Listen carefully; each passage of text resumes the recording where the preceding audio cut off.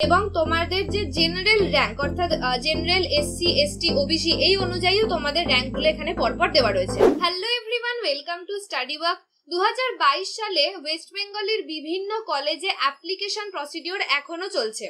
আগামী পাঁচই অগাস্ট পর্যন্ত তোমরা সমস্ত কলেজের জন্য ফর্ম ফিল করতে পারবে এবং যারা তোমরা সিবিএসসি বা আইএসসি বোর্ড থেকে পড়ছো, তাদেরও অলরেডি রেজাল্ট বেরিয়ে গেছে।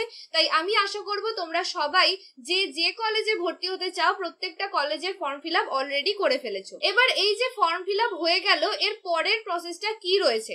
অর্থাৎ এবার তোমাদের কি করতে হবে? ফর্ম ফিল আপ তোমাদের পাঁচই অগাস্টের মধ্যে কমপ্লিট হয়ে যাবে। তারপরে তোমাদের যে মেরিট স্কোর থাকবে, সেই মেরিট স্কোর অনুযায়ী প্রত্যেকটা কলেজে আলাদাভাবে মেরিট লিস্ট বের করা হবে। এবং যে মেরিট লিস্টটা বের করা হবে, সেটাকে বলা হয় প্রভিশনাল মেরিট লিস্ট আগে কি হতো? আগে প্রত্যেকটা কলেজে যখন তোমাদের অনলাইন অ্যাডমিশনের ব্যাপার ছিল না অফলাইনে ওখানে ফিজিক্যালি প্রেজেন্স থেকে অ্যাডমিশন নিতে হতো। তোমাদের যেরকম মেরিট স্কোর হবে, সেই অনুযায়ী first list, second list, third list, এইভাবে তোমাদের লিস্ট বেরোতো।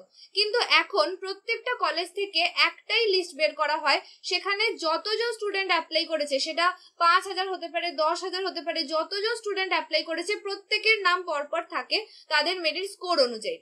এবার তাহলে প্রশ্ন হচ্ছে, আমরা তাহলে ভর্তি হব কতজন যে প্রথম মেরিট লিস্ট বেরোবে? এই যে তোমাদের টোটাল মেরিট লিস্টটা বেরোলো, একটাই মেরিট লিস্ট বেরোবে প্রত্যেকটা কলেজ থেকে আলাদাভাবে একটা করেই মেরিট লিস্ট বেরোবে। যেখানে তোমাদের সবার নামই থাকবে, তোমাদের র্যাঙ্ক ওয়াইজ নামগুলো থাকবে।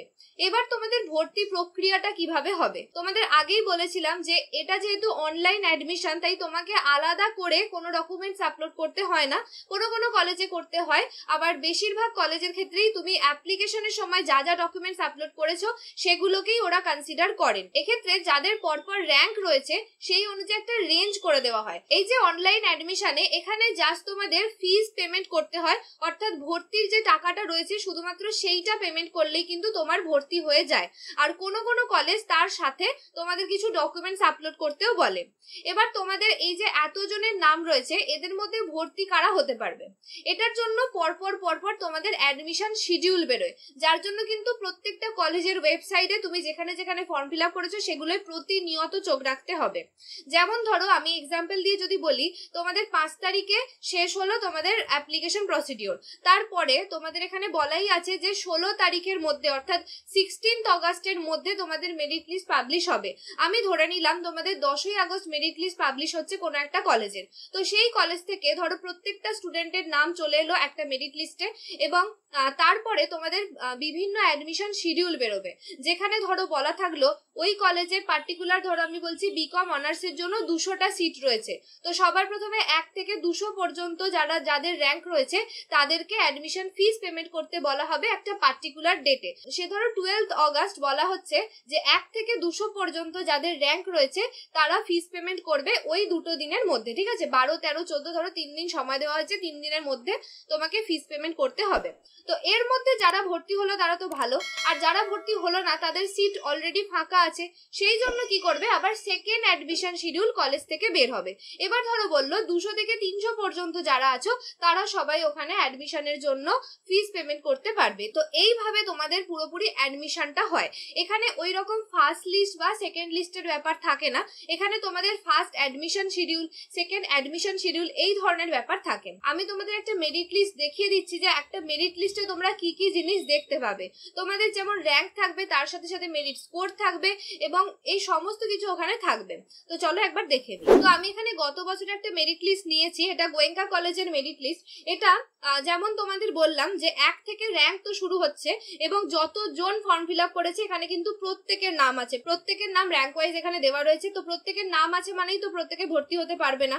তো কীরকম কি কাট অফ যায় গোয়েঙ্কা কলেজ বা অন্যান্য কলেজের ক্ষেত্রে? অলরেডি কিছু কাট অফের ভিডিও বানানো আছে, সেগুলো অবশ্যই তোমরা গিয়ে দেখে নিতে পারো।